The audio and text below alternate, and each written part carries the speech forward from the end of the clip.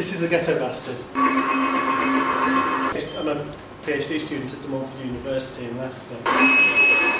What I'm doing is building new electronic musical instruments from recycled objects. And it is a normal standard radio cassette player. No CD player on there. I've modified it so that it has so the radio um, has now has short circuit points all around the circuit board on the radio. So when I touch it, it makes squeaks, beeps, and the voltage sort of bleeds through my body. Yeah, it's a bit like a ther- theremin because like my body resistance affects the sound. There's also acoustic feedback in the amplifier and various other little modifications I've made to the unit.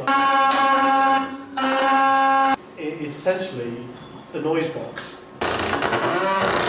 Internal electronic feedback, external acoustic feedback. And also it was designed as a performance instrument as well. To be played by a musician, an individual. Not as a controller for a laptop or anything, to be completely independent of anything like that. I'm now going to play it for you.